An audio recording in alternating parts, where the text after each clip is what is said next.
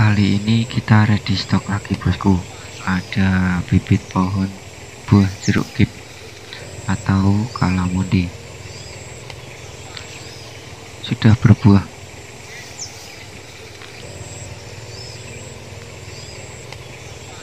Berukuran Tinggi kurang lebih 1 sampai satu setengah meter